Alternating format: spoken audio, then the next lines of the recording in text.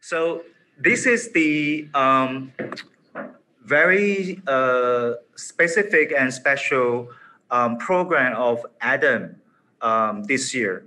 Um, initially, Asia Discovers Asia Meeting for Contemporary Performance, ADAM, is a designed um, platform for um, performance-based and also interdisciplinary artists to come to Taiwan physically for artistic um, exchanges, um, as well as welcoming uh, international visitors or practitioners and producers and curators to um, um, to through the gathering public gathering program, getting to know each other, and also um, this platform serving as a networking um, space as well.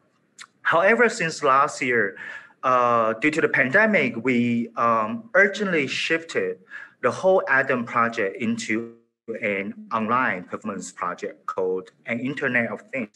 So in that addition, we has, um, you know, as everybody has, uh, we have started exploring uh, possibilities of gatherings, liveness, performativities uh, to be uh, enacted.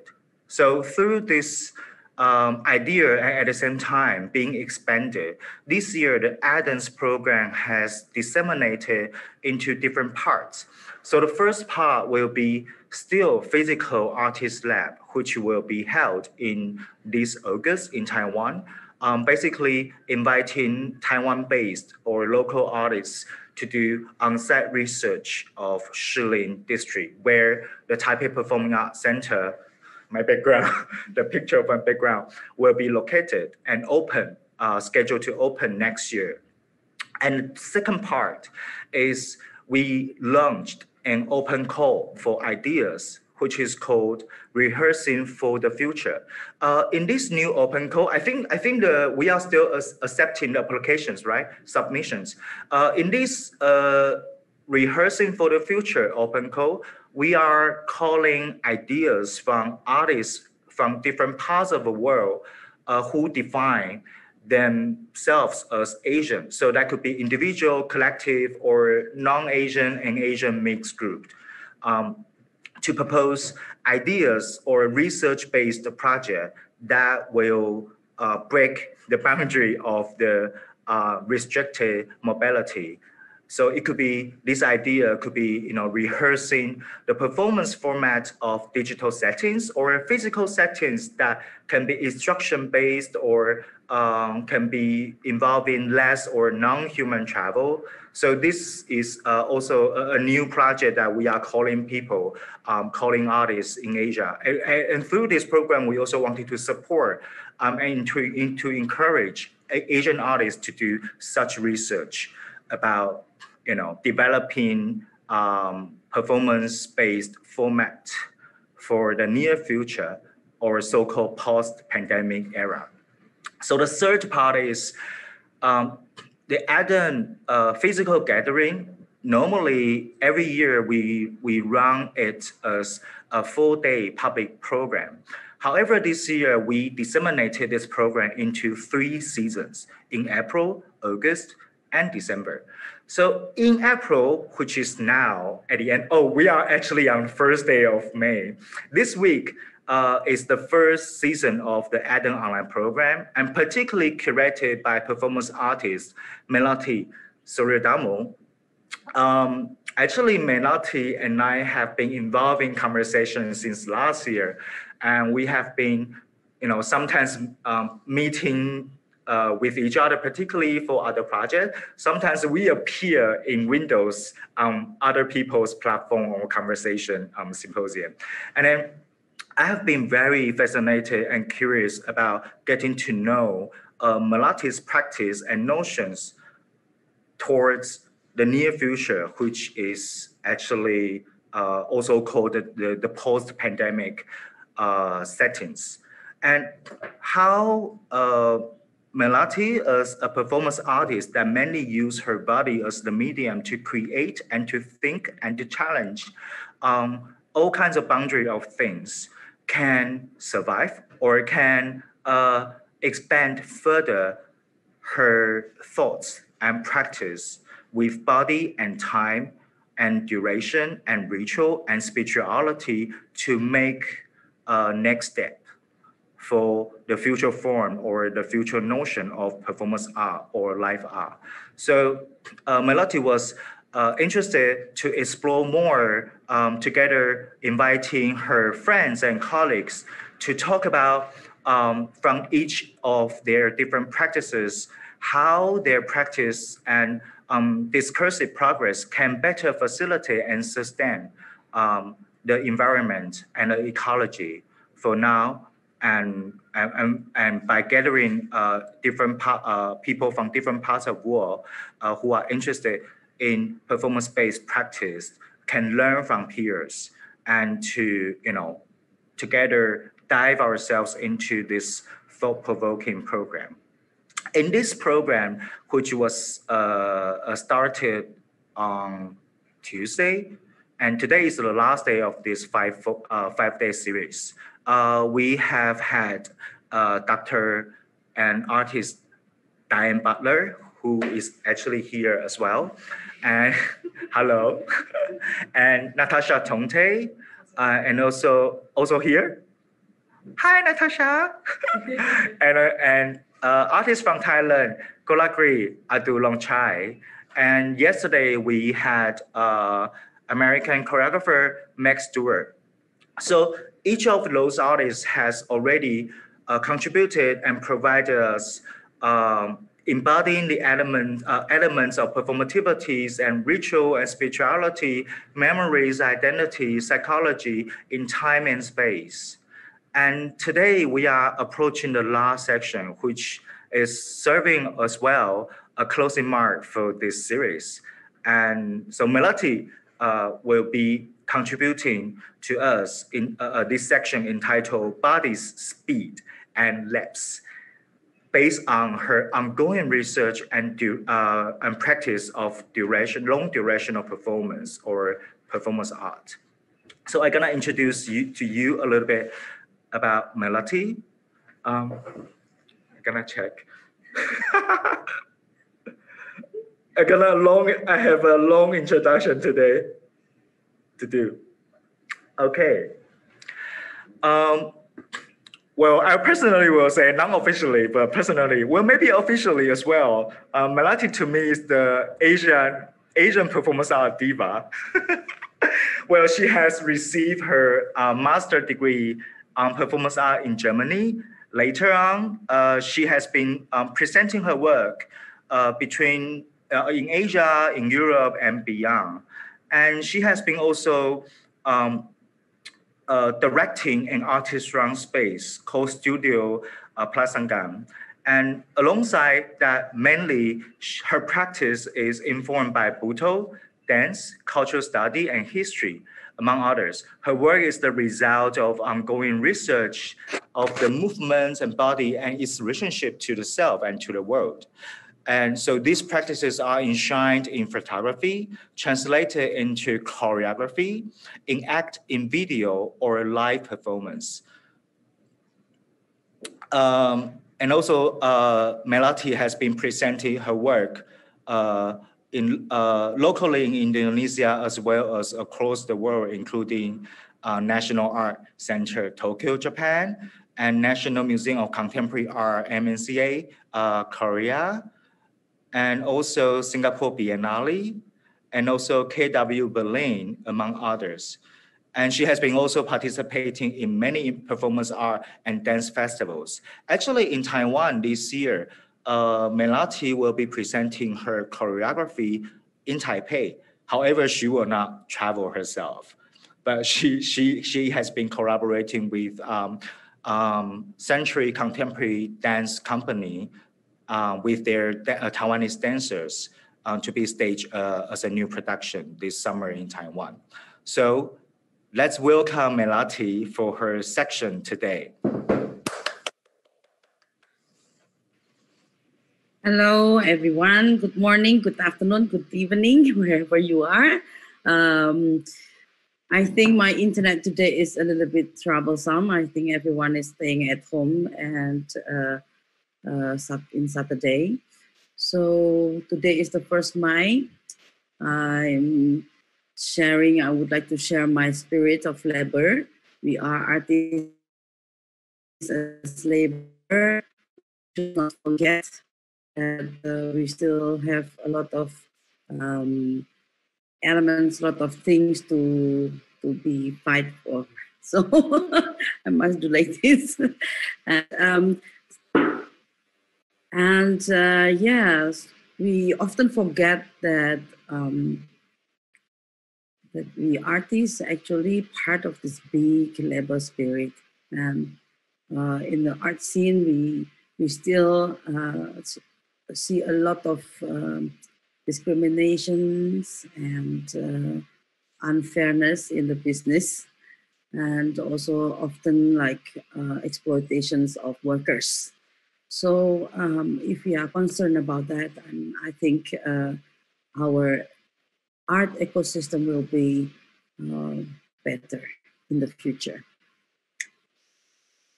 These days to remind us for that.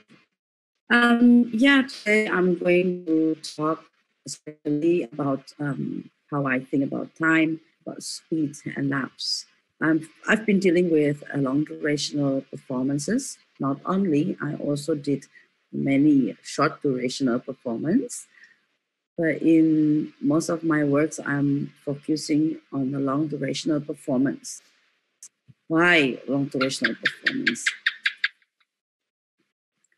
Oh, the gecko next to me is making tick, uh, it's, it's giving a good sign. I'm interested. Um, actually, I was introduced to long durational performance by Marina Abramovic. Um, I was introduced about this, the history of performance art with long durational performance at school. I learned the Western history of performances with long durational, uh, long durational performances, and also which involve uh, ritual elements that indirectly connect with long durational sense. I'm very interested how how time is presented. I also learn or being influenced from a loop, from experimental film, from video art, and the sense of loop, the, the understanding of loop. And I think um, if we deal with time, we are mostly forgotten. We we forget uh, the meaning of you know like the not the physical time, but the sense, of the feeling of time. Very often through our routine, through our daily life, pressure, or even happiness. If you are happy, you forget time very often. If you are waiting, you remember, wow, so long, time is so long. But when you work for 30 years and then suddenly you come to retirement, oh my God, I've been working in this office for 30 years, every day from 8 to 4. So time is very mysterious, and um, I agree with my colleagues uh, like Korakrit and Meg uh, about the sense of time, how we preserve time also in our body. I'm mostly referring to the historical um, baggage, historical memories, and uh, those who influence my being at my present now. I want to show um, one of my work. Please show the first video.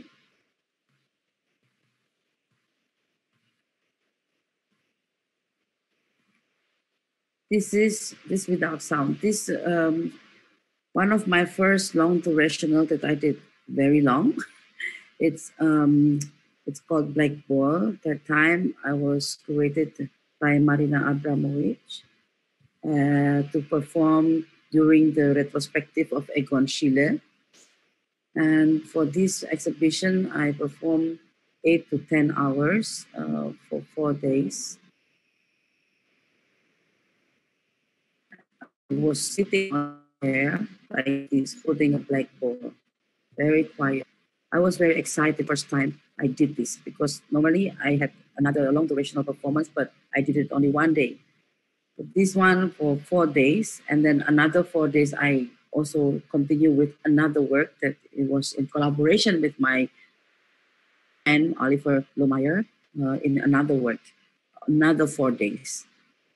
So the whole eight days was for me um, an examination, a kind of examination to understand what is how what is it the long durational in me, what happened in the long durational performance, what happened in my body during the long durational performance. This piece is about um, reflecting the. Yeah, interested into the study of organic movement, the image of chair, and an empty chair that's um, from flat like a flying chair. And so uh, I decided to sit down because Egon Schiele was very famous with uh, his drawing, um, his young young girl drawings, uh, women drawings, and that was uh, making a scandal in Vienna in the early 20th century. So just being quiet and very minimalist moving, and um, in this museum setup, it was for me like I was ready with the with the with the concept, like a stillness, an emptiness, and the principle is a symbol of big guts that is not not open. So it's a solution of the inner that is uh, sometimes um, I don't know in Germany we call it Schweinehund. It's like the enemy of ourself inside. It's our ego enemy. So by sitting still uh, and as a woman that has probably that time I was having a lot of um, something in my gut that was not expressed yet, that was not exploded yet, uh, or that was not uh, able to be visited yet, so that I put this kind of constellation into stillness the public was mostly coming in and out, like in the museum. And um, I was not worried about not to be seen. Me, a performance, a performance art, a durational performance, the most important part is the act of doing, is the actions, doing something. I'm doing something with reason. So the language that appears through the image and my actions, uh, according to the perceptions of all the viewers, is open. And in that kind of um, dialogue with the public, I think for me, the, the, energy that is happening on the space is, is completing the work. So long durational performance in the spirit uh, of feminism, for example, also like to express the, the presence of women in labor, especially,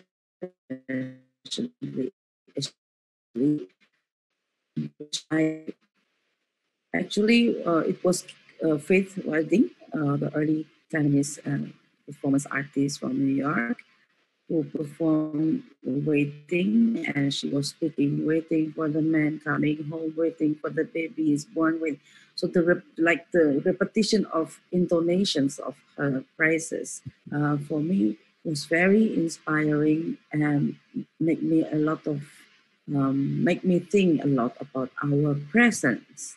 So in a system of time in our life i think we have been constructed um, have been forced or have been put in a situation where we uh, have to adjust, we have to, um, how do you say, um, settle and arrange. Uh, every day we need to arrange our time. We should manage our time. We should um, move on. And but very rare we think, oh, we take time. So we are always like putting ourselves into the speed of the, the time that is actually um, projecting our desire. So our desire to the future, and then we project, okay, in two years, I must get this. In four years, the country must have this, this, this. As a government, they always project like programs like uh, for five years or 10 years and really like seeking for the future. So, and the desire to be there, to be in the future is a human character. It's a very uh, essential, natural, basic character that, uh, that everyone has. And if we project it uh, from our individual state, I think uh, we know probably how we keep our pace to the front or we don't want to move. Like people, like people who are um, uh, in a frustrated time, and like many now, for example, probably happening during the COVID. Um, people get stopped from moving. People people get slower, like we we are, yeah, forced by the situation to be more slow, to wait, to postpone, or even to cancel. And so um, every during dealing with this time measurement, the sense of time, the projection of ourselves into time. for me also reflecting uh, space, space for in the sense of um, giving space for me to um, to accept uh, what is happening in the past in my memory. My memory doesn't mean my personal memory only, but for example, the memory of my culture, the memory of uh, my origin, the memory of uh, mankind, the story of mankind. Um, I would like to show you the second work, Perception of Atoms in Timeless Influence. The title is a little bit long.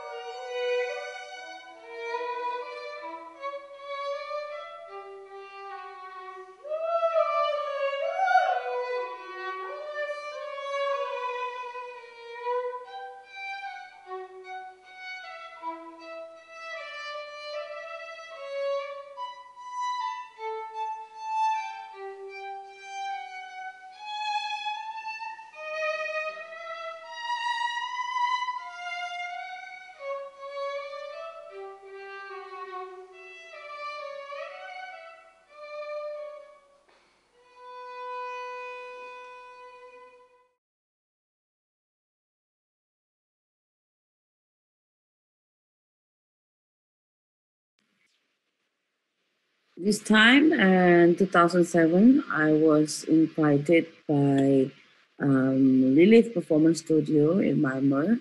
Um, very interesting space in uh, especially dedicated for performance art in Sweden.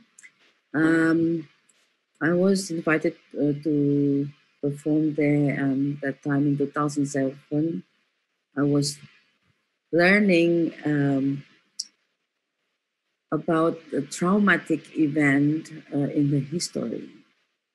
So I was dealing, I was like researching what happened in in the 16th century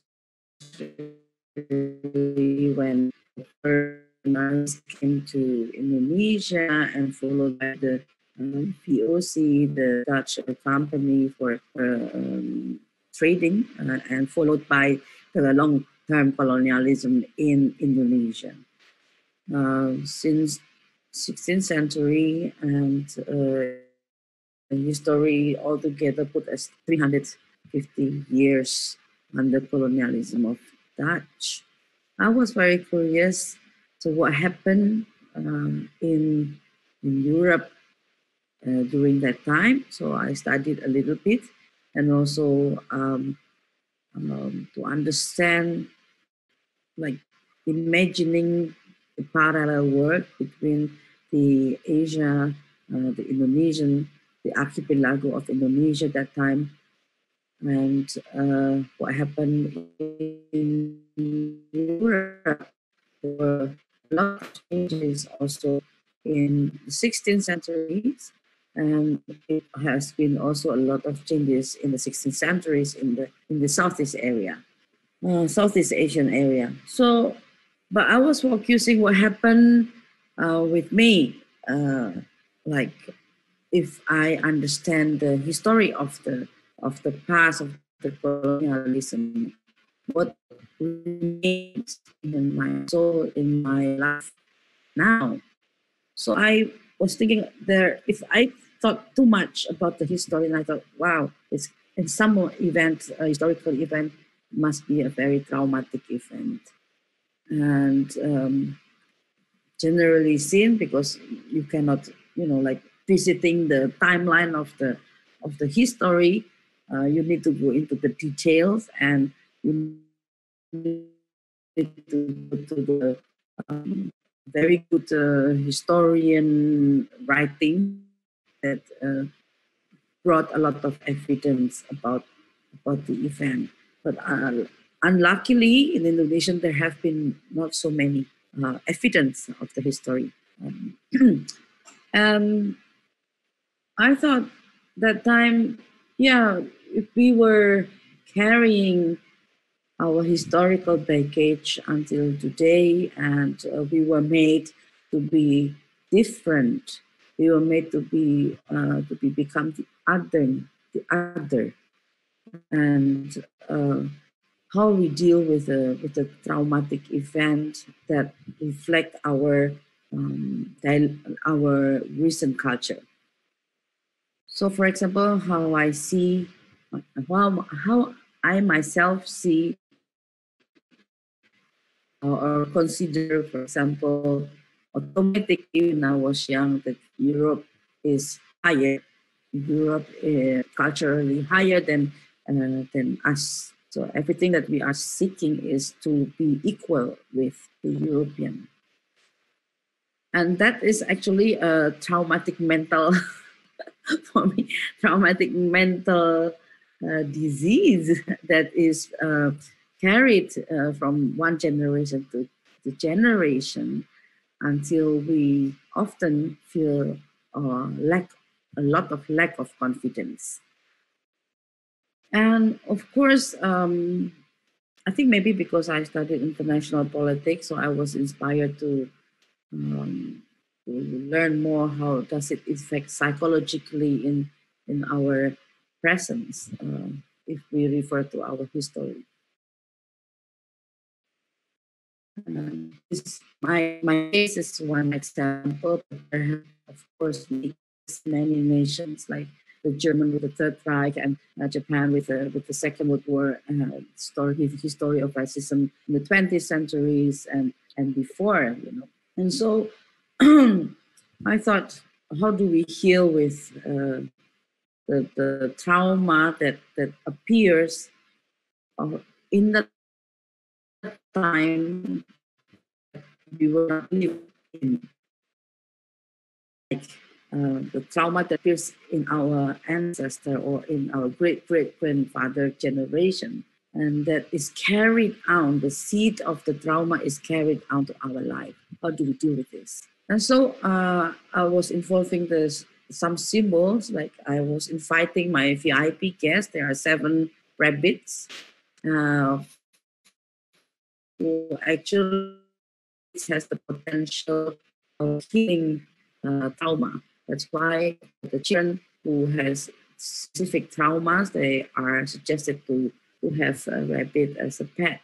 Um, so I locked myself in, in this um, rabbitarium in the glass box for five hours. And I invited uh, um, Angelica Ast and David, the violinist, to, to, to play um, from Matthew's Passion, Blute nur. And I thought Blute nur is a very, um, you know, it's like the very representing the desire and, and the sadness at the same time. And I I was also that time researching where the color red come from uh, in the Baroque culture in Europe, and how does it how did it intertwine with the spice uh, spice trading uh, from Asia to um, Europe and you know and all these things. So I can also show um, share now another work that um, also created in 2007, which is called I Love You. I will share.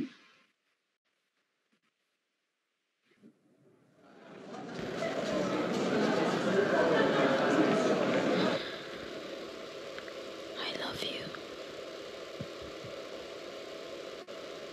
I love you.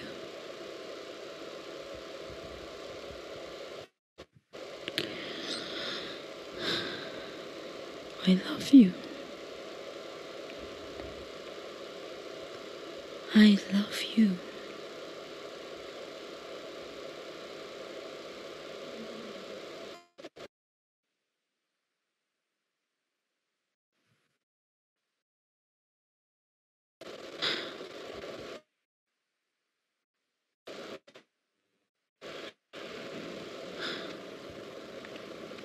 I love you.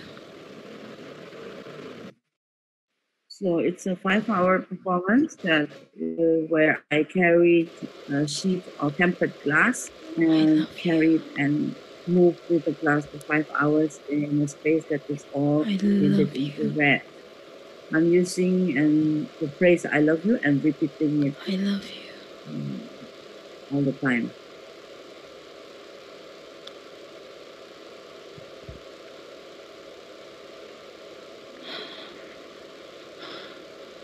I love you. I For love me, you. uh, in this performance, uh, the long durational sense of uh, time is giving a space I to love you. have thousands or millions of elements that appear from one thing, appear from one action. I love you. With the last saying, I. I have chosen I love you. It's not because of its romantic reason. I was criticizing, not criticizing, I was you. interested into the constructions of language I love you. uh, in our our I culture, you. in our life, how we deal with language, how we are using I language, and how does uh, how did the language was created? How does I language can um, express or represent our uh, mind, I love you. feeling and thoughts? how authoritarian it is also to our life. I love you. And so I was um, doubting a little bit about uh, this um, um, like the construction of language and uh, in terms of the use of in, in the communication. And if we you. communicate through the same language, that even there there are lacks in understanding. there you. are um, miscommunication. There are misunderstandings. If we if we communicate in different language in our head, like now I'm I'm talking in English. I love Uh, you. I've been trying to get used with English since I was in the high school, but still, uh, I love you. my I love you. very uh, inner. um, so, uh, since I'm a I'm a person who is, who is constructed by many language, like Javanese and and Bahasa Indonesia and and English and German. So sometimes there are chaotic also in my head. So how can I how can I construct? How can I uh, deal with this all constructions? So language represent also the way uh, a culture life and um, the way the people are living, the way the people are living together in a society. I love you in the I love you, I love you, I love you. I love you in every sentence, in every time I say I love you is somehow um, is a common language that we use uh, to to express our love feeling. But language is um, becoming a mean to, to express or be connect, but sometimes it is also causing uh, chaos. Like now, we especially now, in 2007, we were not dealing so much with the social media, but now, especially during the pandemic, we have been, you know, like like digging in or being trapped or drowned in the sea of language uh, through our digital communication. And uh, how can we get, you know, like um, like the space become like an open space? How, how can language become an open uh, platform to to everyone? So, in I love you, I was thinking by doing it, our sense of, of feeling of I love you is not that important or it is not that um, presence anymore. Like as even I just waiting for like for five years to say I love you to someone. It's totally different. Like when every day you say I love you to everyone. although although the spirit is probably the same, but in in different contexts then then um,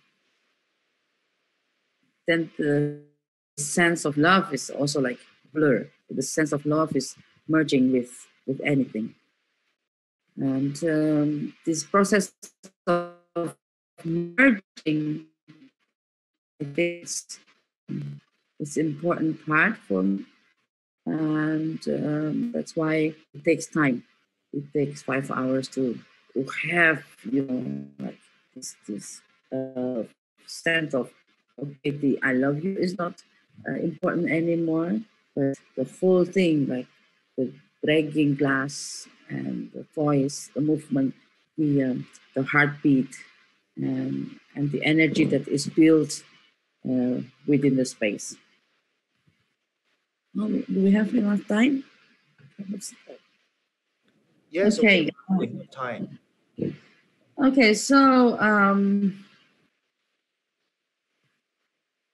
I often got asked that uh, wow, it's like a long durational. How you also you have very strong physical um, endurance, and it's not about the endurance. Uh, it's not about the, the how strong my physical can do.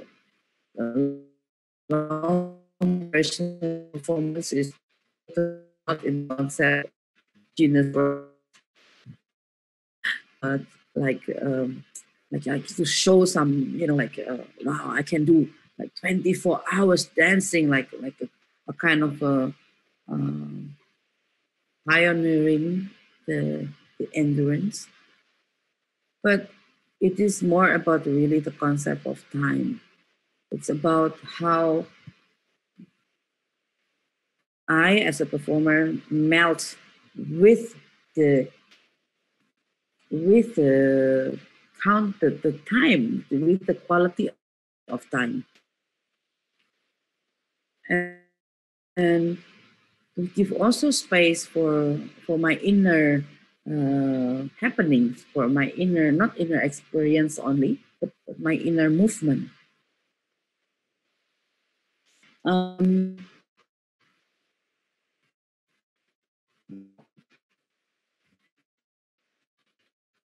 for example, for my long durational performance, I decided like there are three hours, five hours, eight hours, 12 hours, um, three days or four days or two weeks. Um, uh, I decided according to normally to my biological rhythms.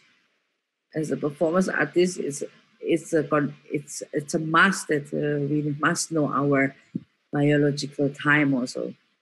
Like for example, three hours performance for me is more heavy than 12 hours performance sometimes. In three hours, like within three hours, always get this my intervals going down, stamina intervals, um, and where I get very sleepy early or very weak and uh, and so on. But um, in certain words, I like to have it uh, when my body is getting weak and the performance is like just like that, like like the the one I did, which is called Alelino. Mm, I did not show this here. Alelino is one of uh, my first uh, long durational performance. Maybe I can find, I can show a picture.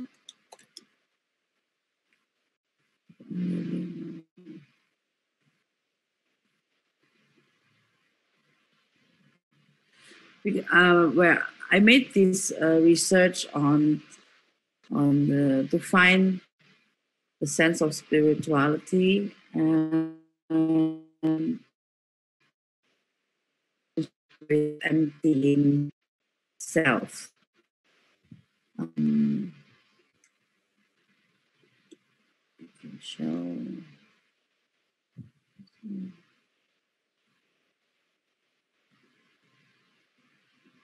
So I stand on the plane, on a, on a um, what is what is it called?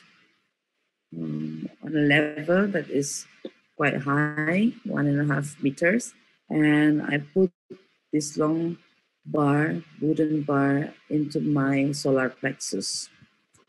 I I love the um, what you know this this whole constellations is uh, coming from the idea to connect with the earth and human and the, the, triangle between the nature, human, and the God. And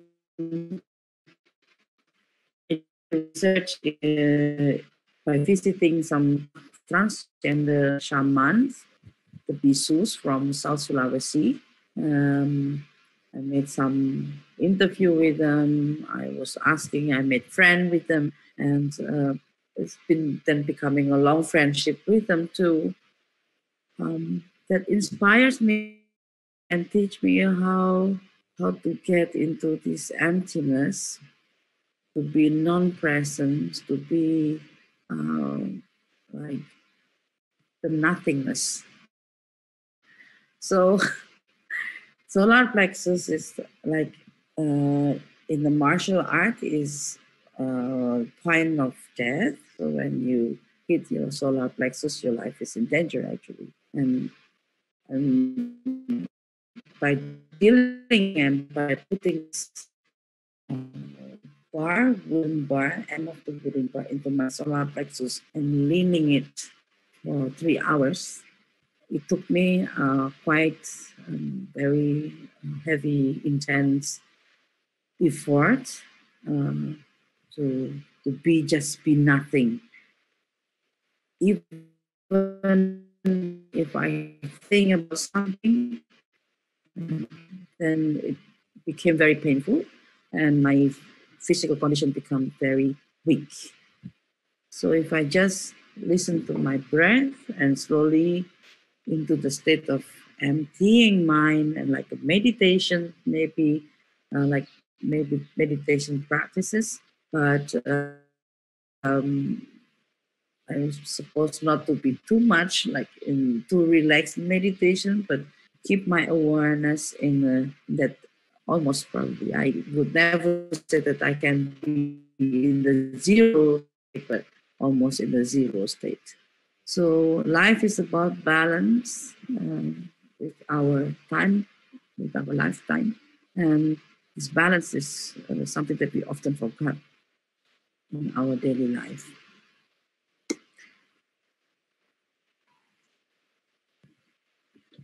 Um, so um, yeah, so when three hours performance, then I try to not to control, but I try to let it, to let my body with the time and with the condition, and be surrender with uh, the being.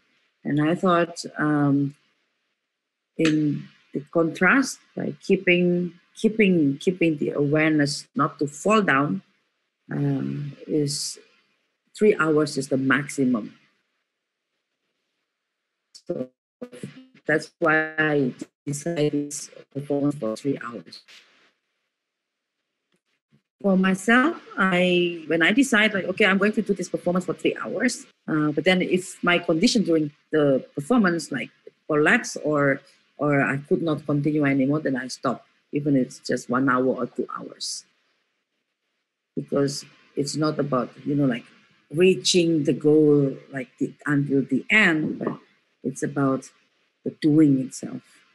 So if the time and my condition doesn't allow to continue until the end, then I accept this. That is already done. Something like that. And um, meantime, um, long durational performance become like like many of of, of performance artists on the long durational performance. I also learned besides from Marina, also from like uh, Black Market International, a group a group of performance artists from several countries who have been they don't like to be called as a group. It's just a BMI, Black Market International Artists. They have been in and out uh, united or been present since the 80s until today. Um, they are mostly now my seniors who are, you know, like over 60s and or at least my age. Uh, the youngest, I think, Helge Meyer from Germany. She's about my age. And uh, there's Alastair MacLennan, Boris Nieslony, uh, Myriam Laplante, and others.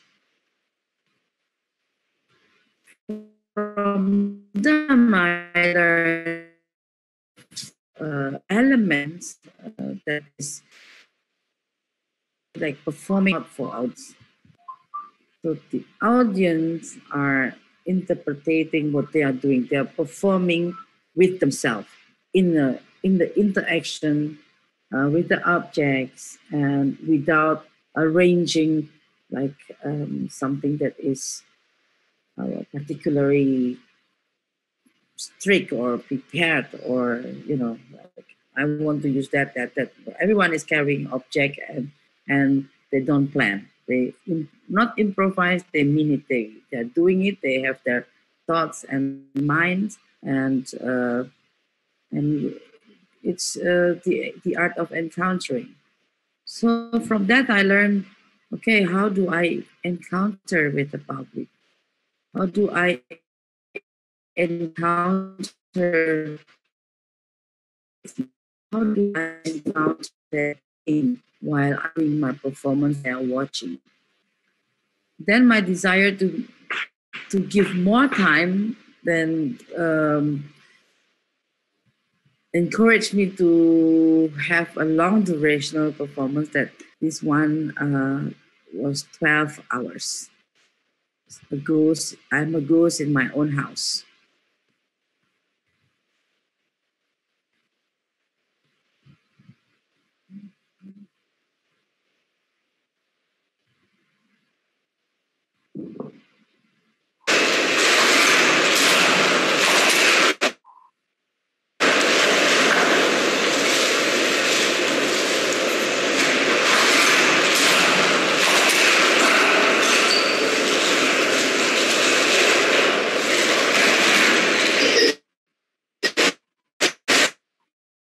you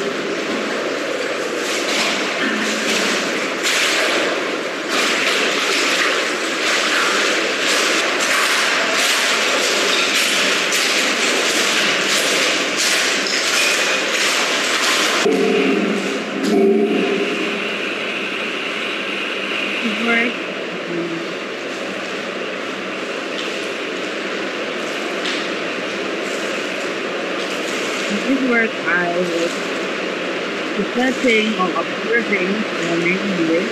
Um, the term devotion is music and well-being in relationship with um, death.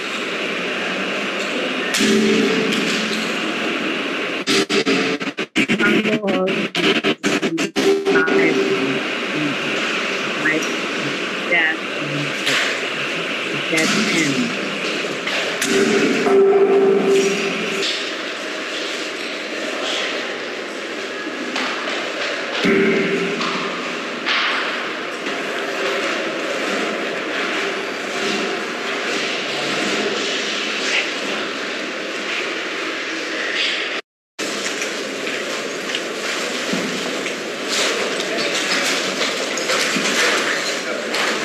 It was performed in London, in our own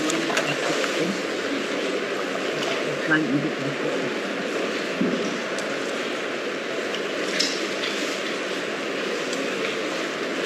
I'm a ghost in my own house. Uh, Uh, Melati, sorry. Uh, uh, did you say something while playing the video? Could you say I'm- we could hear? sorry? Uh, could you could you say again while you were playing the video? You say something, right? Could you say again? Because we Oh, you cannot hear anything? Because the video the sound of video was loud. Ah, okay. So I'm a ghost in my own house was a long uh, work of observation and trying to understand the notion of welfare, of uh, well-being, and death.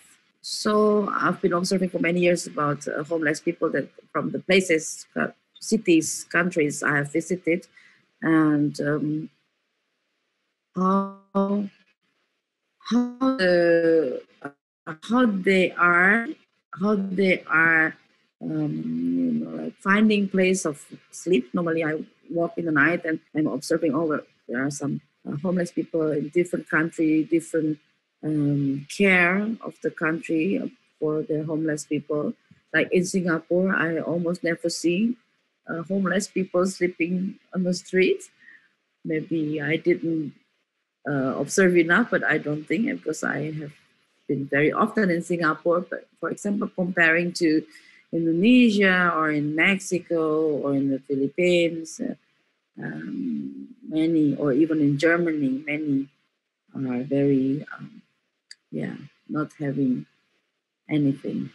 And, and I was wondering, uh, the feeling is like when I watch and I observe, I, I remind myself like, oh, I have a home, I have a family, but when I was home, like I felt like I was floating like a goose. I've never been really like feeling like I have a home. And uh, as well as when I am in Indonesia or I was in Germany, I felt like I'm a floating ghost. Um, I'm always like, uh, I felt like as a stranger uh, in my own house and uh, felt like never really found something to grasp. And for me, it relates a lot with um, understanding or perceiving the idea of being in our time, being in our lifetime, and how to accept this. And so learn always new from a new process of making my work. From that uh, process, I learned about how death can be still meaning, you know, meaningful after the death. Uh, that is symbolized in the charcoal. How, um, how, for example, uh, our um,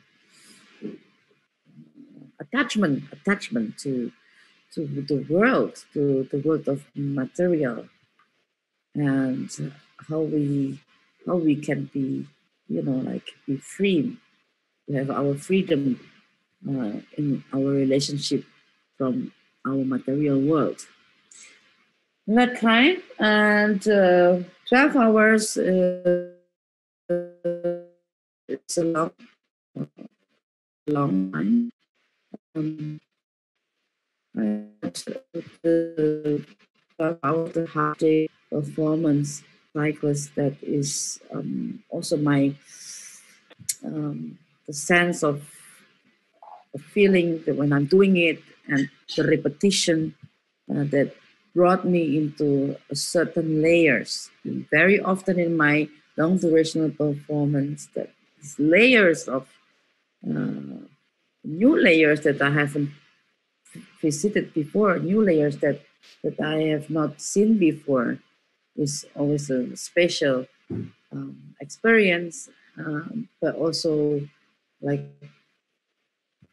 yeah, a, a, new new library into my my body. Um, yeah, I think uh, idea of I relate with the chaos and the chaos of, of, of the now, the chaos of our presence, uh, the chaos that is um, happening in our, our mind. Because time is, has been representing nothing but itself. actually. It's just that try to people try to to put the meaning time uh, and in the certain representative notion. Um, I want to show one more work, maybe uh, that could be interesting. Very short one. Is it okay, River? Do we have enough time? Yes, please.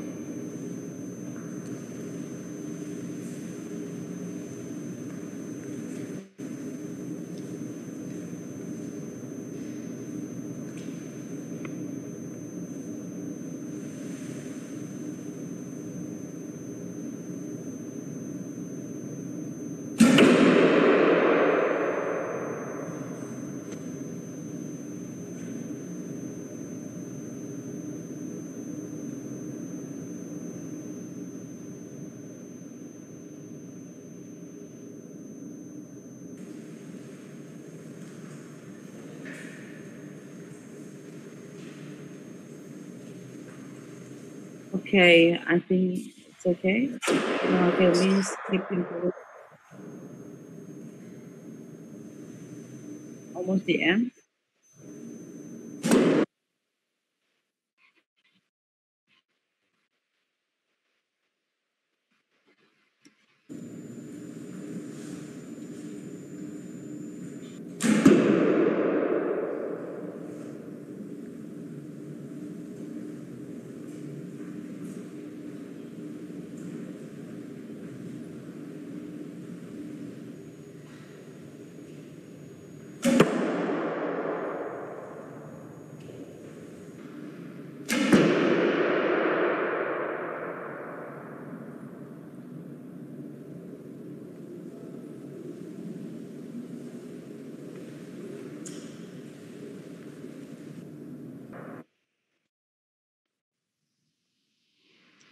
So Transaction of Hollows uh, was made in 2017 and uh, 2016, and uh, it was commissioned by the Lilith Performance Studio again in Malmö.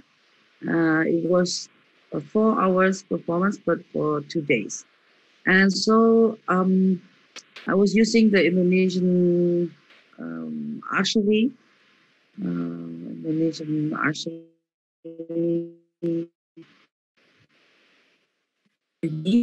and bow and arrows.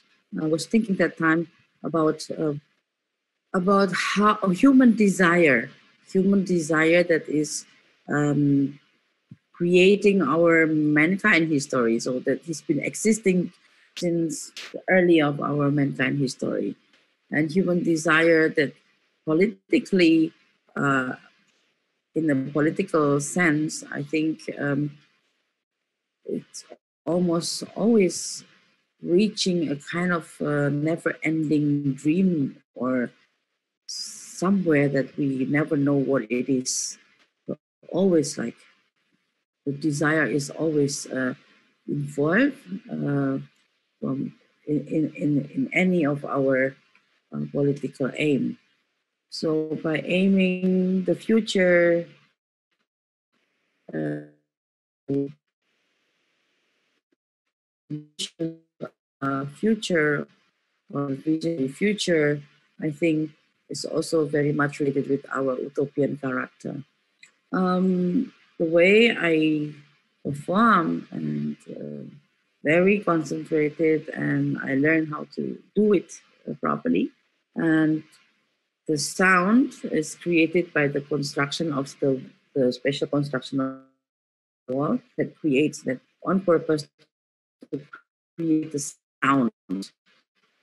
And the loud sound is to uh, remind us also of moments. Um, in my early works, I used to have a, uh, it's called a lullaby for the ancestors. I'm using a Western cowboy uh, whip cracking. That also, that time I was thinking about like, uh, about the moment and um, Butter Dance, my Exergie Dance, is also about catching the moment. And this one also about the moment. Um, the public, the viewers who are also in the same room with me, um, are sensing their fear, are sensing their um, their, natural, um, animistic way also of to protect themselves. When I stretched the arrow and pointed, and they suddenly they all moving behind my my back. And and I think it becomes very interesting, interactive with the public, because uh, we are dealing with uh, sometimes unpredictable, fearful time. And like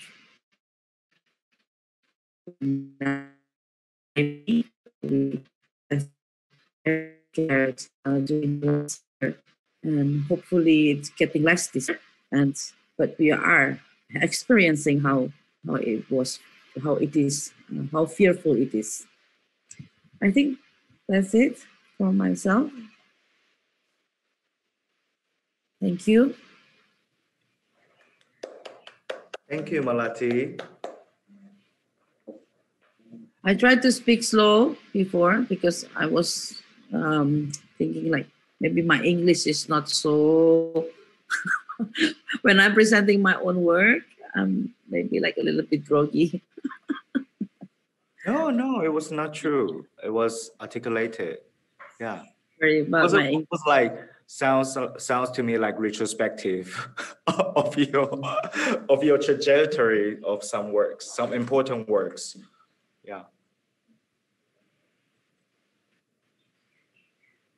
Are you with me? Mm-hmm. Melati frozen. Oh, you're back. Internet is a little bit. Yeah, yeah, I'm back. Okay.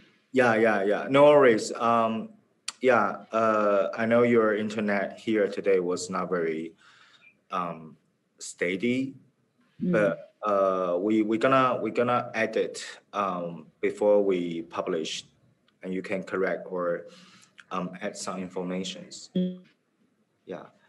Um, thank you, Melati, for sharing, um, generously sharing so much to us. Um, I found that um, most of your works or the you know the, the, the anchor the core or the core of your of your artistic practice is um, is so primarily based on rituals. Like there is um, qual- uh, there's a ritualistic quality of the way that you perceive and you do or you spend or you work with time. And then coming back to the um, initial idea of conceiving this program, back to rituals. Uh, I wonder, could you share more about like how you see rituals in your work through the sensibility, uh, the sensation of time, or through the sensation of encountering, like what do you what what does rituals uh, what does a ritual mean to you and in your work So uh, traditionally, um, I'm quite uh, familiar with uh, different kind of rituals in terms of uh, belief with spirituality, religious religion, and, and so on. Uh, but also uh, traditional rituals that actually originally um, and when I was a child, uh, they are they are independent from from the notion of religion, and um, like for example, there are different kind of rituals for since like when you are born until you you die or even after you die. And it's okay, my. Yes, yes, sorry. so I thought. Mm, I was very much inspired with uh, some rituals, uh, some rituals that involve also performances. For example, uh, in Indonesia, listen again? Oh, this is very troublesome. Can I uh, just yang itu lancar ya? Hmm? Oh, maybe I should change to my mobile phone tethering first. Is that okay? Yeah, sure. Yes. Matiin. You're gonna re- you want to reconnect with the internet, right? Mm,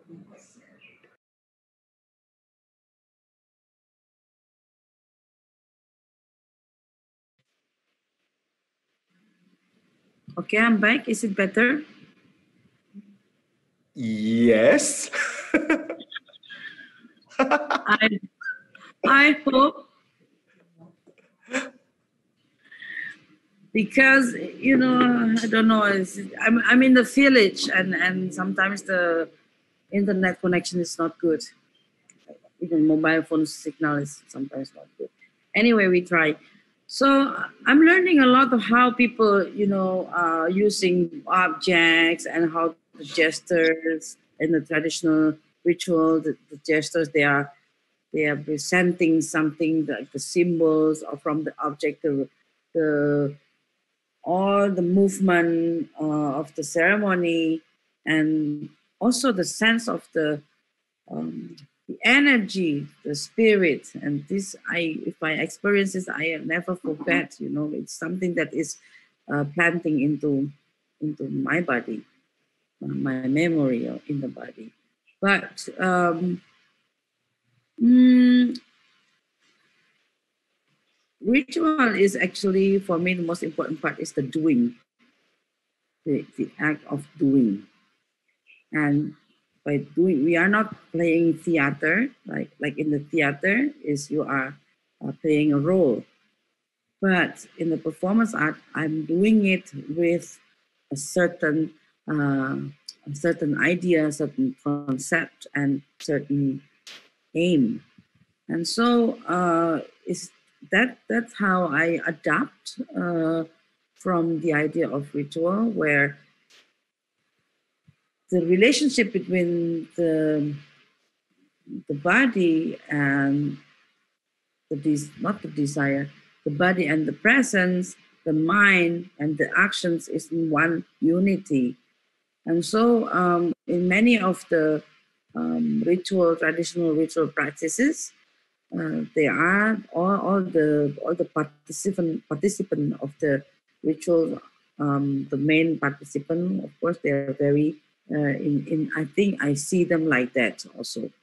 Like when they are all give the offering, they're giving the offering. It's not they act like they it's not the plastic offering, it's a real offerings. The objects are real, it symbolizes like life wisdom or whatever.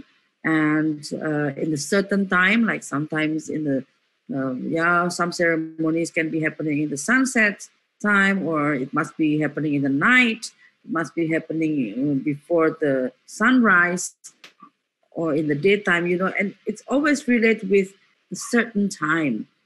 And so um,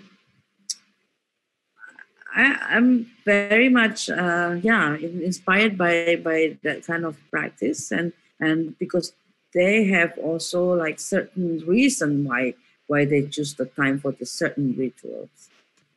Mm. And I think um,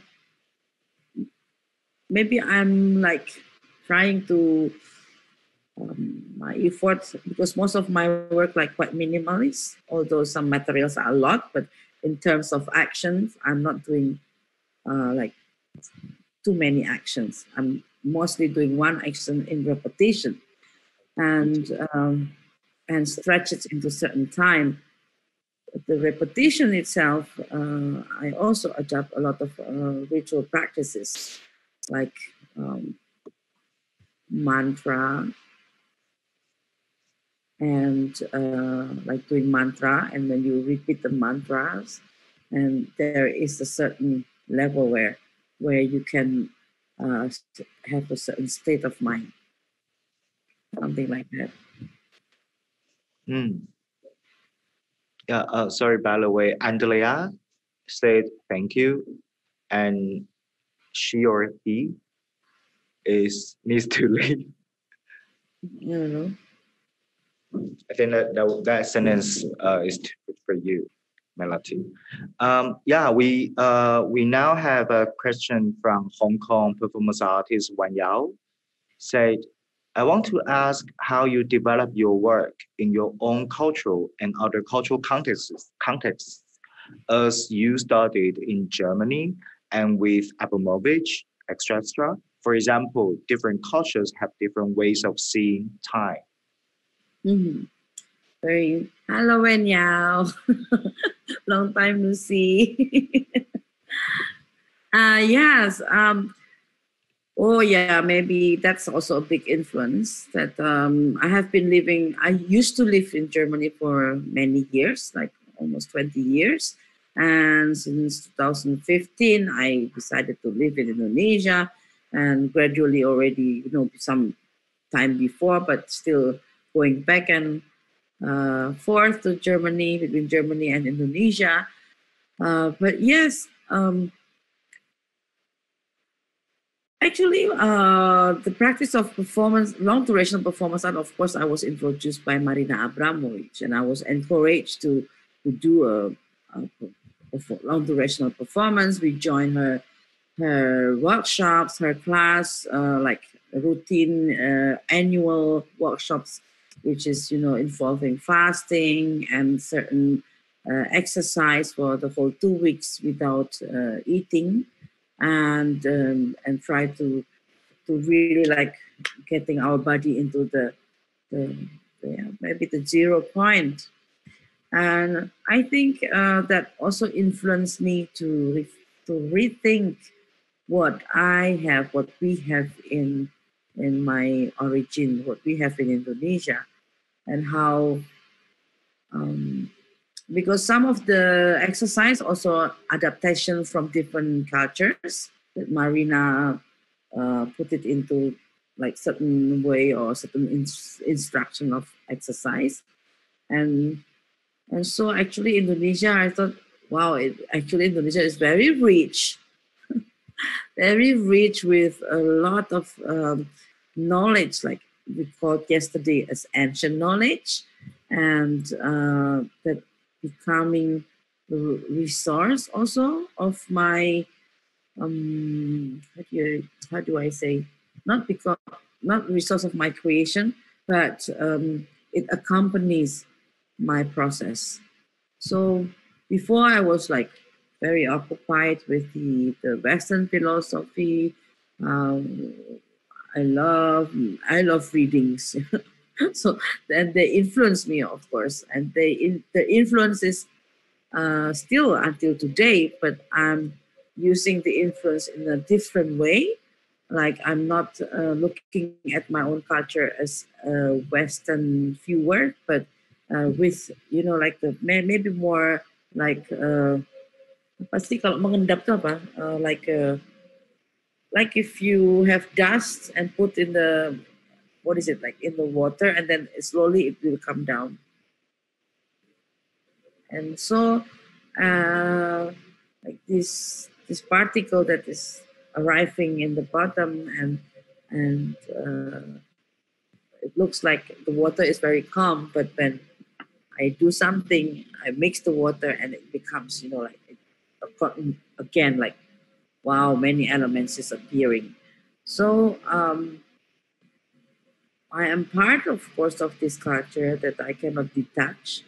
And but for example, the problem for me is like always to work with the, the notion of identity that I have done in my early career, like 20, 20 more than 20 years ago.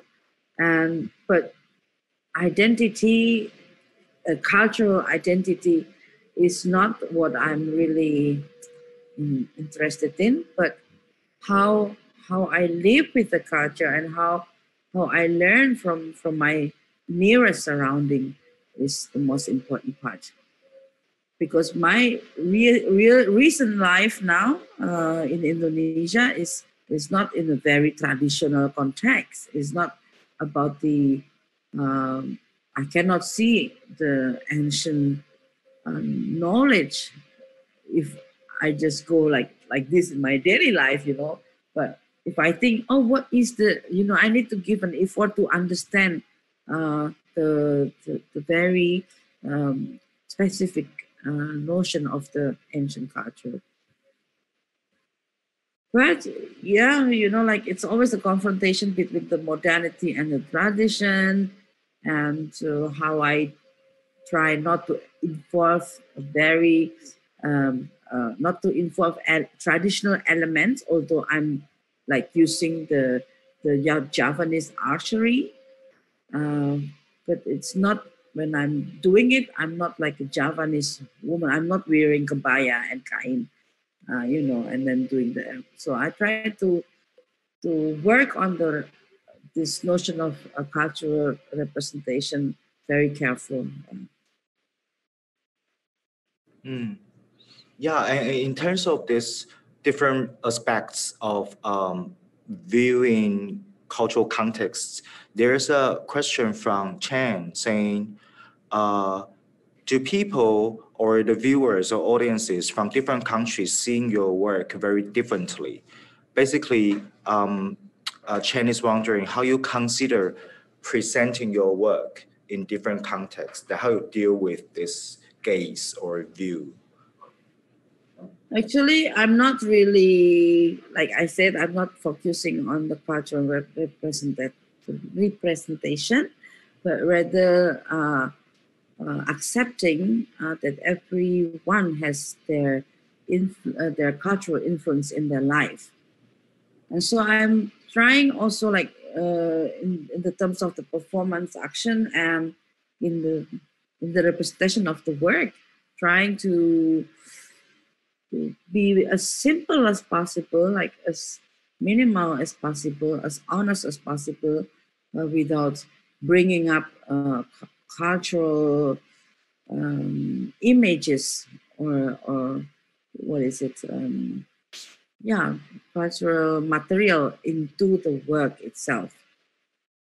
And uh, so that probably many different cultural background would uh, probably understand uh, because um, I don't like to be, I'm tired to be seen, you know, like as an Indonesian representative of a culture. I've been living in a, in a, in, a, in Germany for a long time as a foreigner and as a stranger. And everywhere I am now, uh, I feel like uh, abroad or like in a, in a strange country, in the foreign country, I'm a stranger. And one thing that makes me uh, felt like always confronting my my inner being is like, why am I different?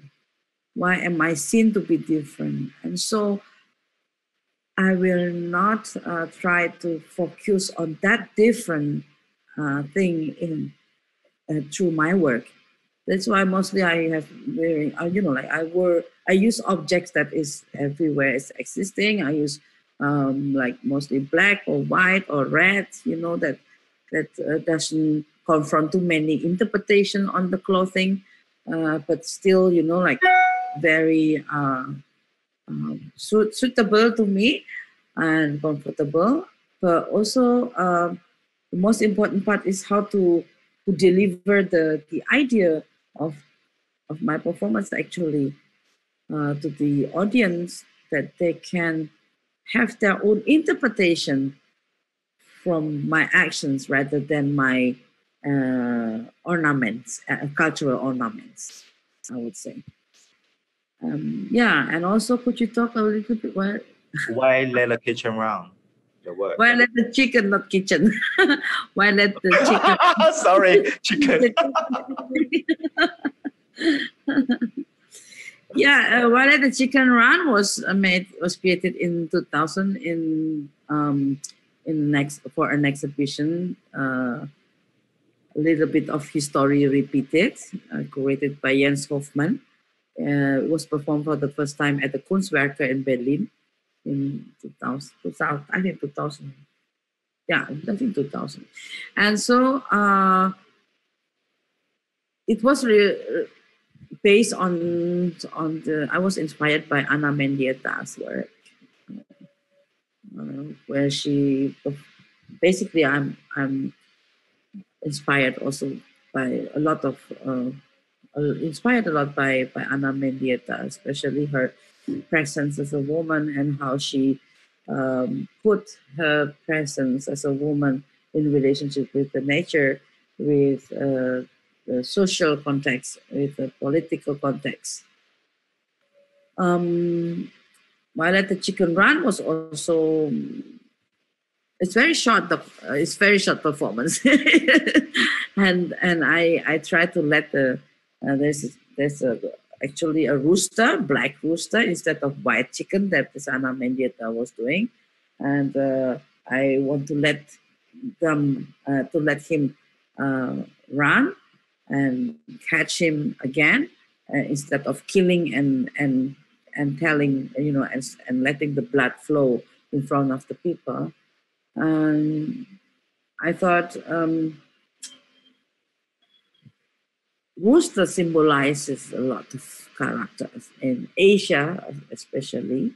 Uh, it's it's a macho, it's a pioneer, is uh, like you know like leader, and and I'm also like from the rooster year in my Chinese zodiac, so it's it's quite um, strong symbol, but uh, by letting it out and and catching it again i'm also talking about freedom and and freedom and power in in, in many different contexts yeah.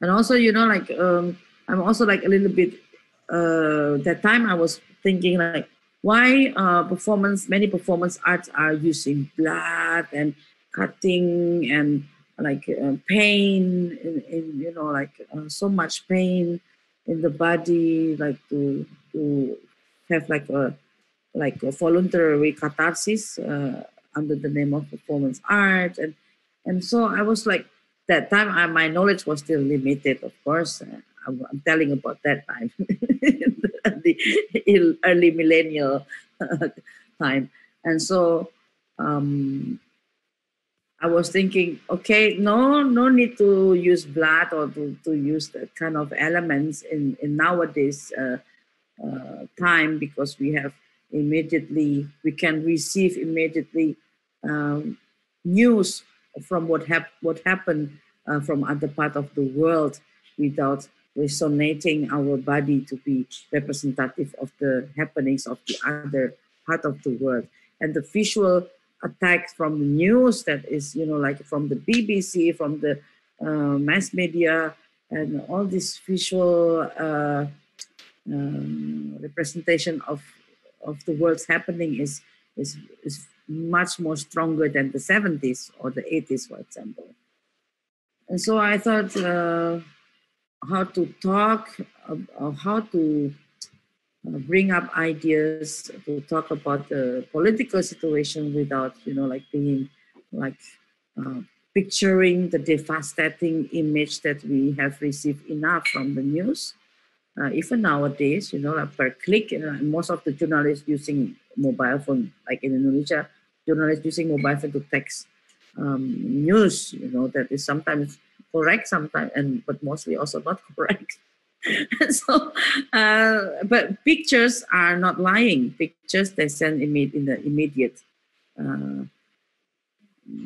transfer. I think. Uh, well, there are manipulated also. There are manipulated images, but but uh, most of the official news they are you know like yeah enough images of the devastating world and uh, to I, I would rather to represent the the, the um, vulnerability more in a very uh, uh, very soft and uh, let me say touchable in terms of uh, yeah give more space for the for the for the public or for the viewers to to to activate their own sense. Yeah. So not not determining. So this is what happened. This is bloody war, and then I show blood a lot, you know. But how blood can be more simple? How blood is is very close to our flesh and our our life, to our breath, and so something like that. Yeah, um, we have uh, several questions in Mm-hmm. relation to the idea of symbols. Um, so uh, let me let me contextualize a little bit. So okay, we have um, and a question from Jia Yu saying asking um, thank you for this inspiring presentation. How do you prepare yourself, like your body, your mind, before each performance? As there set rituals such as warm-ups routine for dancers. That what would you do, or normally what do you do before you enter or begin your performance? And how do you return from those status? And at the same time, there's another question from um, a feminist artist from Taiwan. Um, she was typing in uh, Mandarin. She's asking, uh, Melati, do you always perform by yourself uh, in your work, or sometimes you could be absent in Mm. your life works? So okay, my I asked first question. Um, my preparation is uh, it depends on the performance. I like, uh, for example, but normally first I uh, that's my personal ritual. Um, it's actually okay now. I can tell.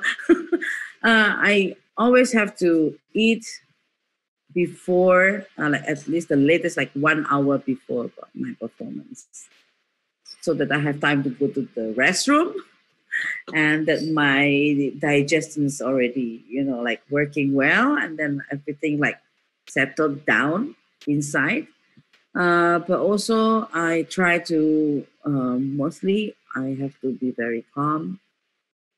I have to be ready. Um, I have to get fresh myself. Like I wash the whole body, hair, and brush my teeth. And I only eat rice and only rice with egg and tea with sugar, black tea with sugar. Uh, that's the most powerful food for me to to survive for for uh, 12 hours. And um, is it frozen? Am I frozen? Hmm? Hello? Am I frozen? No. No, you are not frozen. Oh, You're alive. Okay, okay. okay, thanks. Uh, so I was thinking, uh, no, no, my ritual uh, before I perform, I like, yeah, of course, a small warm up and and uh, breathing exercise is very important. Um, I've been practicing Sumarah meditation, like a Japanese meditation, uh, that that uh, helped me to to cool down, to relax my mind, and to be ready with my body, to go into the element of my organs, to get already hello liver, hello lung, hello heart. Uh, let's go together with me and and, and let's let's start something like that. And so um, yeah, actually that's it. And after the performance, normally I don't like to see the public, and uh, normally I just get yeah relax and cool down because some performance if it's like long durational performance, like it took me also like innerly quite sometimes quite heavy. So when I meet people after performance and talk, and especially like some someone to have an interview with me, also I, am uh, sometimes I refuse because it, it's quite hard afterwards. Afterwards is harder than before. It's not because I'm tired, but mostly like mentally is I need some space to slowly, uh, you know, coming back. And uh, what was the Pin Wan Shu uh, asking? Uh, Her question was: uh, Is do you do you always perform? With oh yeah, yeah, yeah. Your work. So there are some works like like the black ball. Now I delegate. Uh, I delegated uh, this performance to be performed by other performer and also uh, the uh, Kleidungsaffe. Uh, also, I asked uh, other performer to perform in the installation of like a tree of clothes. Clothes, uh, like I built an installation of like seven meters high uh, tower or tree of clothes, and uh, one person is hugging. Uh, it's now exhibited in the Macan uh, Museum in Jakarta. I also have the Sweet Dream Suite that is also performed by uh, at least 26 uh, girls, like 30 pairs of uh, women who perform uh, as pairs and, and perform together um, for three hours. So some, some work I, I really dedicate and before, before they do the performance, I give some workshops and then mentoring how to do uh, how to stay with a black ball for eight hours. for example, so what do they need to prepare and how how they control the breathing and the mind is very important because to control the mind is the most uh, difficult part. If you cannot control the mind, then you get very easy tired and you know and losing the energy. Oh, there are many questions from. Yes. Yeah. There is a, a Gilao, uh, I guess French artist, um, Guillaume. She's, uh, he said, I'm curious if you could speak about your pictorial uh, slash visual inspiration as each of example you share with us. Beyond the minimal actions offers a very precise tableau through colors, costumes, setting, framing, and how those choices relate to each thing. Mm-hmm. Mm, interesting question. Hello, Guillaume. um, yeah, uh, I think I prefer this uh, more like almost sometimes monochromic pictorial uh, image or settings or uh, color uh, selections and object um, settings and so on. The object, you know, like the, the use of the object. And I am very much influenced with photography also. Uh, I do also uh, video works. So creating some pictorial presentations is for me is like one uh, process of viewing and uh, how it is how I view with my two eyes and what I receive uh, from what I have seen and into my mind. So the dialogue between the the retina, the, the lens of my eyes with what I see is sometimes um, um, uncontrollable, right? So in this world of too many materials, actually, and my wish is actually to dematerial, to um,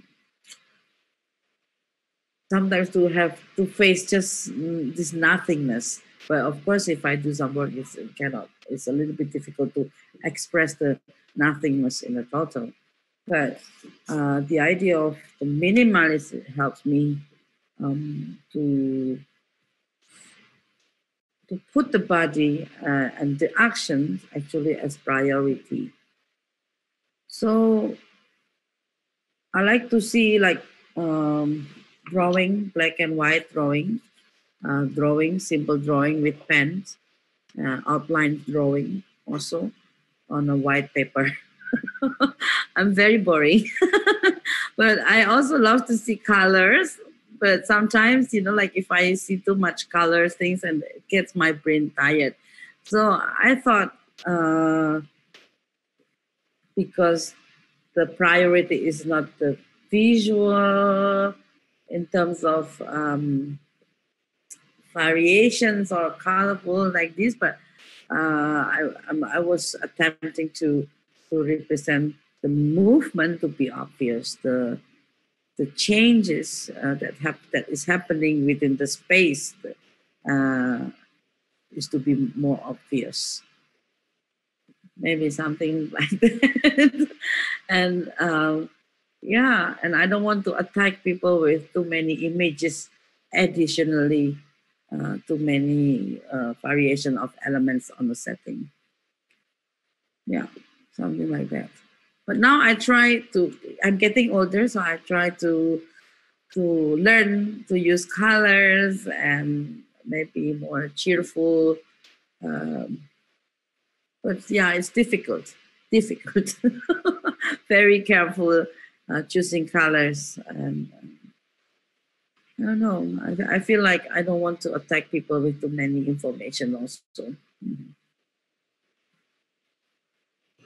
Yeah. Um, followed by this, uh, I, I didn't forget Diane's question, but let me um, follow in Susan's question. So uh, how is the work, the practice involving now as the body shifts with age and knowledge? Also, the communication and translation of specificities you desire in a performative when working with other performers. Uh, the com- communication and translation of specificities. Yeah. Specificities. Okay. So, well, uh, the the sustainable resistance of the performance art is to uh, in our agency actually as a performance artist uh, especially female artists i think to never give up because of age. So I never really, you know, uh, I, of course I'm aware I'm um, not like a shadow puppet uh, figure, uh, like or the Indonesian Javanese uh, typical beauty or dancers body, you know. I'm by chance uh, in the nature having more weight uh, through genetical reason or whatever, you know, and uh, I love my body as it is, and I think everyone should love their body as they are, their beauty how they are, and they're beautiful as how they are. And you know that's that's a popular message, but as a performance artist, I think this is that's why we are existing because um, we should uh, still keep the resistance against all the definition or limitation of the body. So even I'm getting older. You know, like my seniors, like Marina Abramovic, my father, and many other friends of my father. Um, many senior artists are still like Anna Halprin, you know, Joan Jonas. They are still, uh, they make me, you know, like also, okay, you know, let's move on. I'm not, uh, I don't like to be like um, what I have seen in my near surrounding, like dancers who are uh, on coming to into 40 years old and then they stop and loss of confidence and I don't want to appear because I'm old and I'm not young anymore. I'm my after the birth, my bare body is exploding, and uh, a lot of reasons that that especially female have.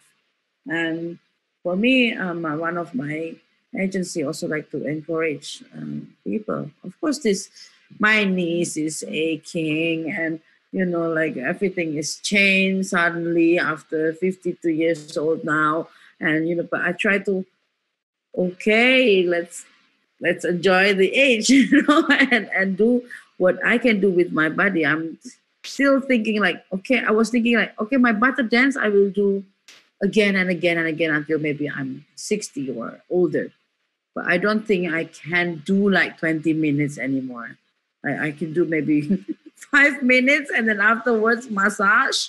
Uh, but you know like the spirit is different. Uh, the spirit is the same but the, the appearance will be different. And that changes actually is very interesting. So yeah so like the age and knowledge knowledge i'm very curious always like even my body's getting older i'm i feel like every day i'm a newborn baby. So uh, i'm like like i want to know the world more you know like that's why i'm making this um uh, also i'm happy to create the, the this program for adam because i'm because of my curiosity 100% curiosity to to what happened you know to the world. And uh, so every day i feel like okay like born new baby fresh mind and to see uh to, yeah i think that keeps me working also. And that keeps me also like um, my spirit to have some sharing in my studio. Here we are going to have a ramadan dinner together with my students with all my team who has been working with us for many years. And so you know like i keep trying to share uh, the positive spirit of uh, learning and, and sharing. And that makes me forget about my age.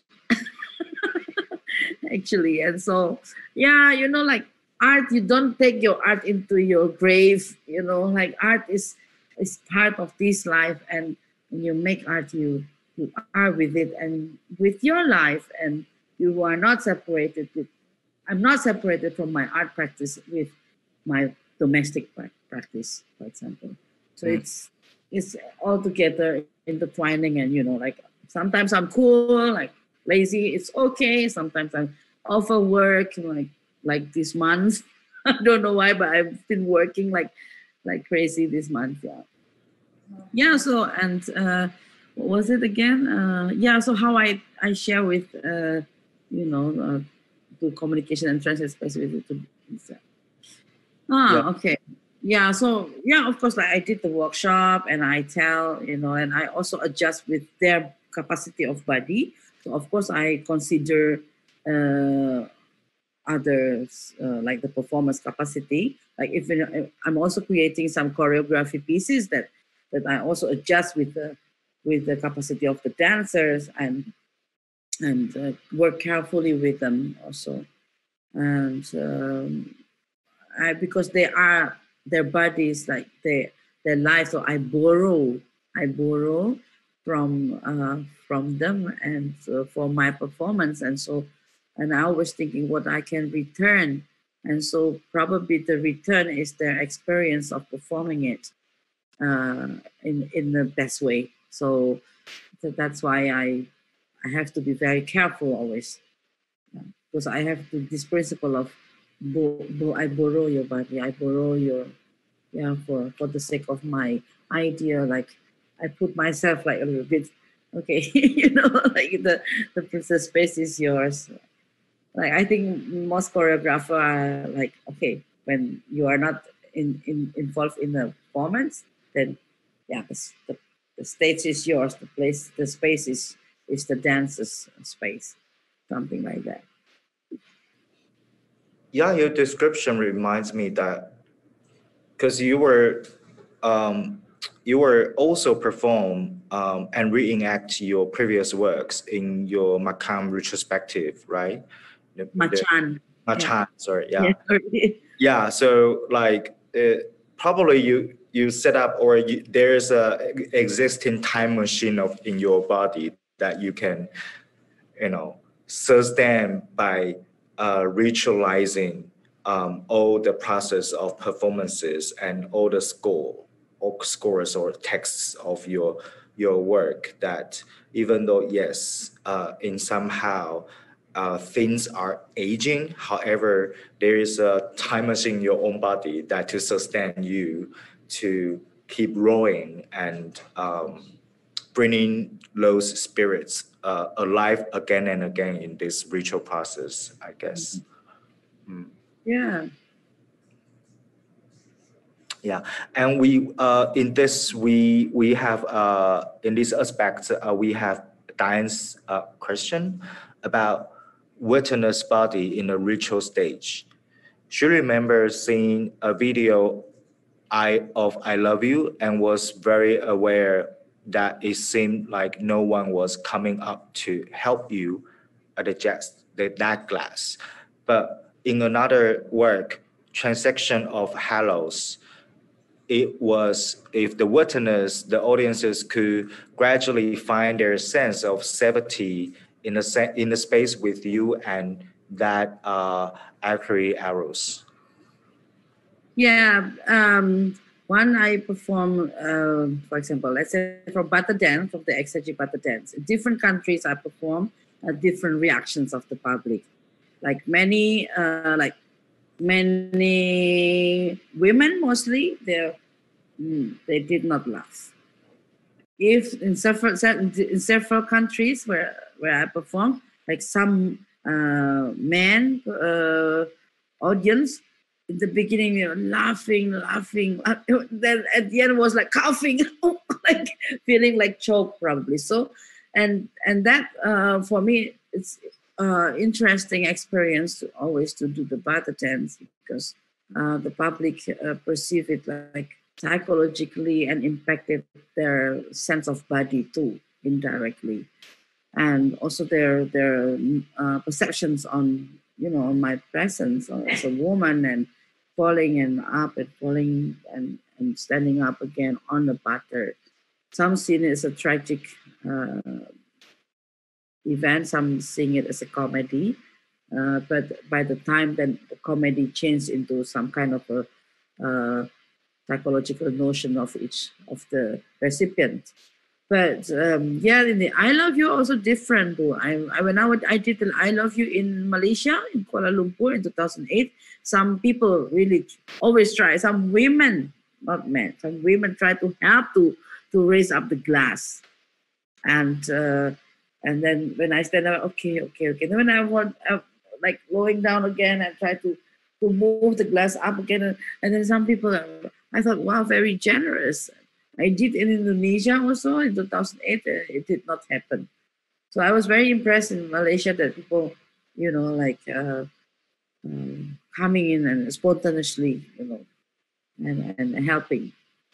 But uh, in many countries, uh, the, the I Love You piece, of course, the setup is quite uh, quite clean and in somehow like my presence also quite distant although the public's in the same room, because I'm not representing uh, like um, like I'm not wearing dress. That that's why I'm wearing um, a male suit, like a business suit, and high heels. And so, but it represents also like okay, you know, like I can do it because I'm wearing trousers and and suit, you know. So so some that kind of uh, uh, how do you say that's one of the ways sometimes I I manage how to uh, to open up for uh, space for the public. How come they can, how close they can come to me, and how they can be more, uh, you know, automatically distance. And also, like in the transactions of Hollows, I I'm very quiet. I'm doing my thing repeatedly, and so moving just according to where I want to shoot and the public is automatically uh, actively uh, sensing their safety feeling also and which is uh, we forget uh, in our daily life very often thinking about safety and i'm from solo i'm from indonesia with uh, every time I go on the road is my safety is in danger. And so uh, this kind of thing is quite complex, but it appears like in, only in a white box and with uh, 800 arrows um, and audience. Thank you. Thanks, Melati. We have last question from uh, Yun Chen Chang saying, I'm curious about how you begin and end your durational performance through minimal actions. How this different are, are there any are there any different phases during the performance in terms of dramaturgy or mindset about how you begin and end? Oh, Uh, actually the same like uh, mm, when I'm doing any other action in my daily life. I start and I finish, and uh, the end uh, probably will be marked by the changes of the space. But like for example, in the "I love you," uh, uh, when I when when I start, the glass is there in the space, and I take the glass and I move with the glass, and when I finish, I I put the glass in the space again alone, like as if nothing is happening before.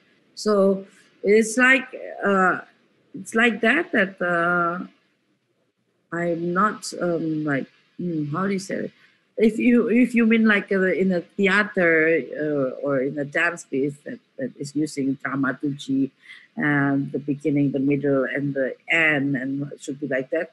Um, no, because the end will be happening as it becomes because the principle the, the, the my principle of making the performance is like to um, uh, to be to get this becoming and the, the becoming pro- probably if you call it dramaturgy maybe the dramaturgy of becoming.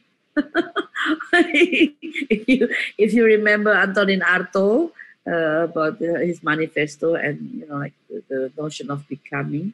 And maybe through the repetition of action for a certain time certain durations uh, it never uh, it never be like the beginning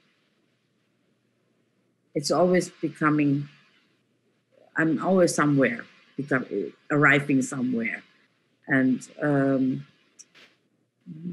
yeah it's not it's not uh, because i already set up the, the duration and the end is just the end. It's like sometimes uh, I even sense without getting sign from the organizer to lower down the light.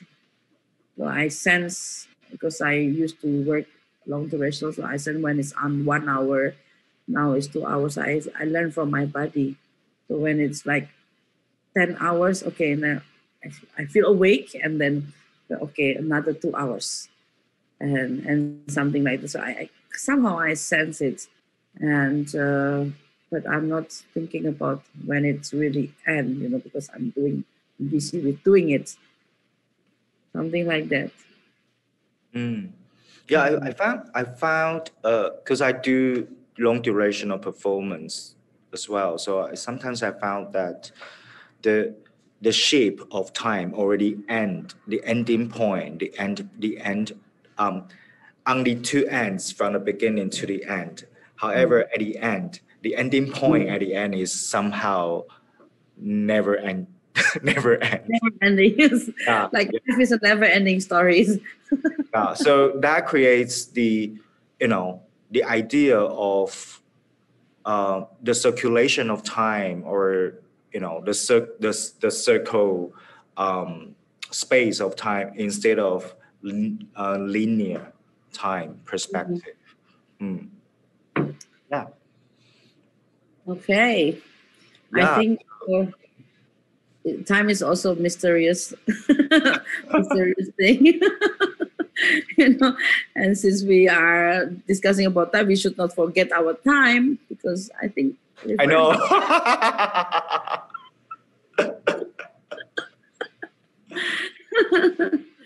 yeah thank Yeah. you so much Mm. Yeah, thank you, everybody. Yeah, I think thank you, Melati, for um, conceiving all offering contributing this series of in these five days. Yeah. Do you uh, do you have any uh, question to the participants so far? Uh, you mean me? Yeah. I mean, like, uh, yeah. So I've been enjoying uh, the last five days, and uh, I've been very excited. Like my adrenaline is like jumping up every day, and I'm also like very happy to have uh, like Diane and and Natasha and Korakrit and Meg, you know, and being with you here at the TPAC team to be with you all uh, who are participating in the in the talk uh, for the last five days, and and uh, I think it's, it's a very uh, special special experience for me, and um, it's very uh, fulfilling. Sorry if my presentation today is not like uh, yeah, you know, like I, I was not really um, sure about my language, uh, but I think uh, the this Adam is very interesting to give uh, such platform, and thank you for the opportunity uh, you have given to me to, to also unveil, you know, the mystery of of uh, rituals and durations and the, how it relates with the body and the time. So I guess this this subject that is quite rare actually uh, it, it, to be discussed in terms of uh, its relationship with uh, performance art practice. Um, because ritual, for example, if you the notion of ritual different in different countries, different perceptions, and um, and I, I think uh, if we dramatize about the, the, ritual must be like this, like this, then then you know then it becomes more distance with our reality. Actually, in our reality, we are very close with uh, many kind of rituals, and uh, it's not necessarily to be always related with uh, spirituality, but often, mm. of course, with spirituality and and the notion of spirituality. We can make another seminar or another platform about just talking about. You, you want to make another seminar? Just focusing on spirituality. yeah, I have some some interesting artists. Yeah, for for that, but. No, um, but I think you know uh, some, uh, the interesting part of this pandemic time is that we also, you know, like reflect uh, things that that appears suddenly appears or actually it was been has been already discussed or thought but never really brought up into kind of this kind of sharing and discussion. So I think uh, this is quite quite nice. Yeah, very very nice. Not quite. It's very nice uh, time. Yeah. Yeah, it's been it's been really um, stimulating um, learning from you and your invited artists these days, and it, it has uh, kept me, you know, rethinking about uh, the initial idea when we were discussing this program, and then because you you know because in your also in your statement that you said that now we are um, we are confronting um, the, the, the reality of being, surv- uh, being survival.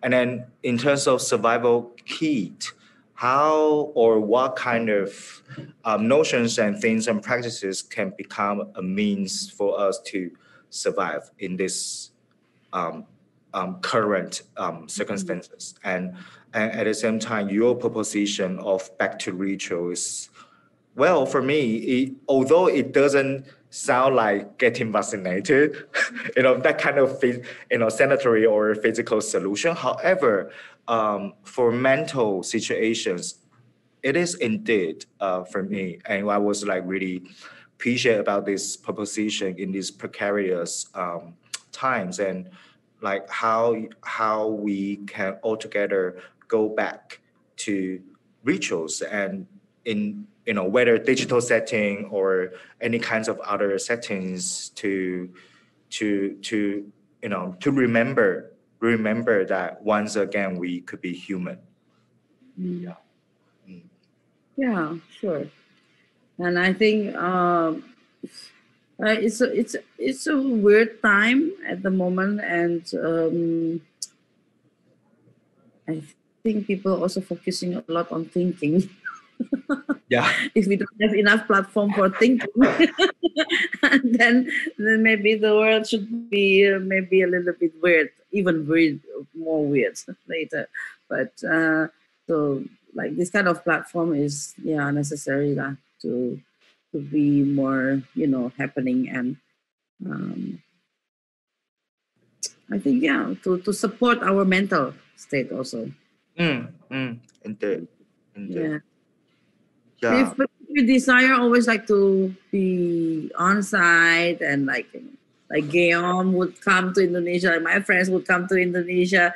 Uh, I would like to go to back to also like to visit my daughter in Germany, and so it's a little bit, all a little bit, you know, like wow, a little bit difficult if you just think too much about that.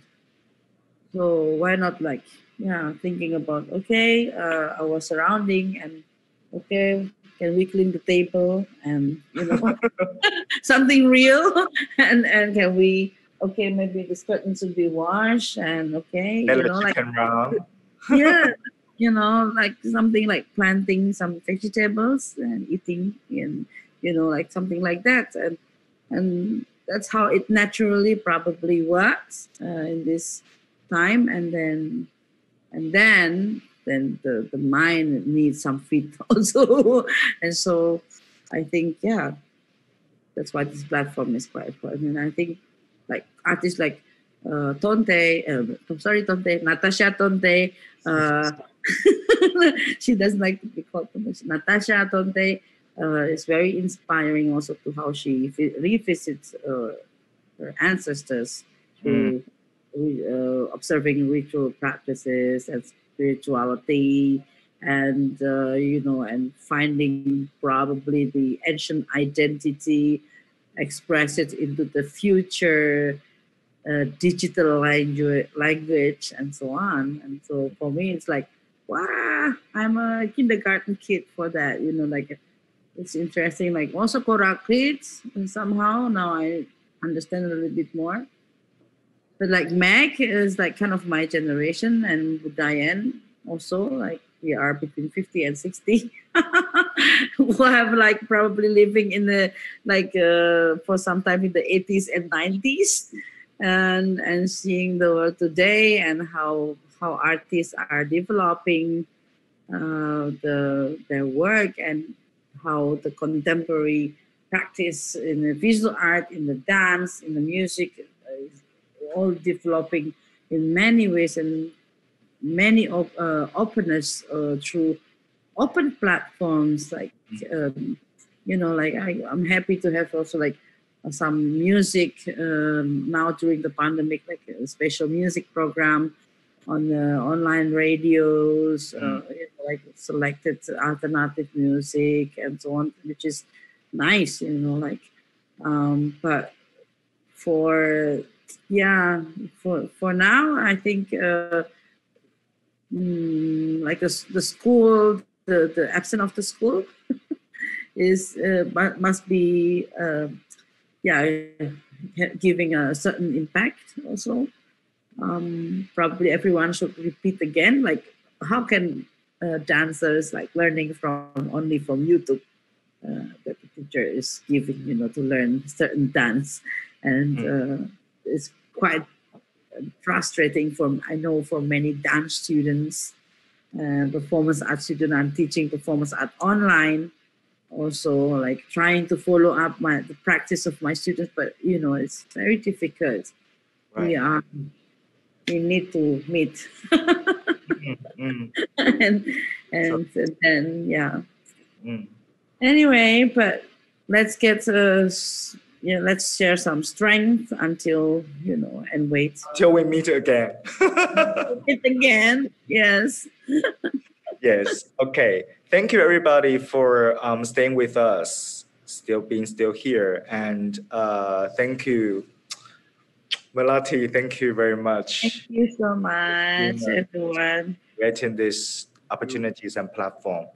Okay. So um, that's uh, so people if you are interested in um, you know reviewing um, all this series of programs uh, please stay tuned on uh, adam's website or uh, adam's facebook um, we will be public we are hoping to publish uh, all these talks as public resources um, to to facilitate um, our arts community um, very soon so thank you good Thank you. afternoon, good evening or good night Thank you, Ines, Guillaume, Suzanne, Thank you. Natasha, thank you Faith, bye Nancy. Bye. Thank you.